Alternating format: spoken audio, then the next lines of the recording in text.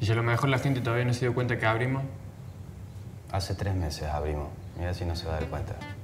Vieja, es una gilada, una semana y pagas todo. Tampoco estamos tan mal, dale. ¿Ah, no? Y sí, quédate tranquilo, hermano. Está todo en orden.